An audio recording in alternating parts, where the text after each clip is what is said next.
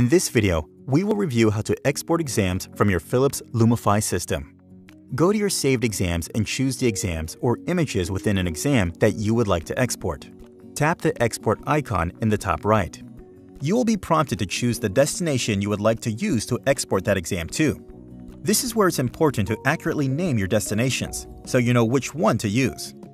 In this case, we'll choose the local media destination we already set up. As soon as you tap that export destination, the selected exam, exams, or images will begin to export to that location. To see the status of your export jobs, you can tap the menu and select the export queue. This may be helpful if you have multiple exams exporting at the same time.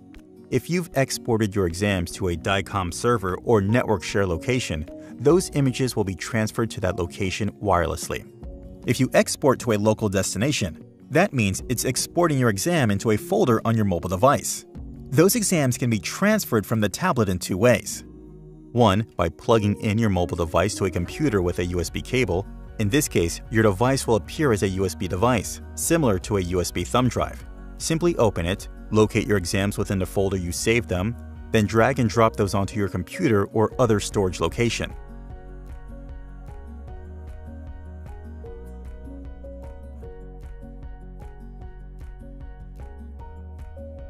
Two, the second way to transfer your exams from your tablet is to use a USB thumb drive that you plug into your device.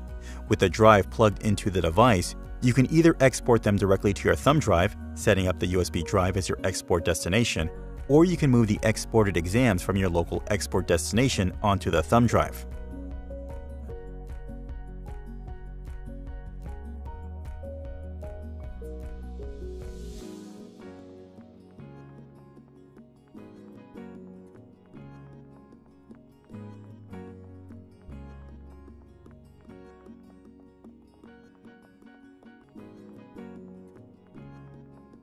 Now you should be familiar with how to export your saved exams to one of the export destinations you set up.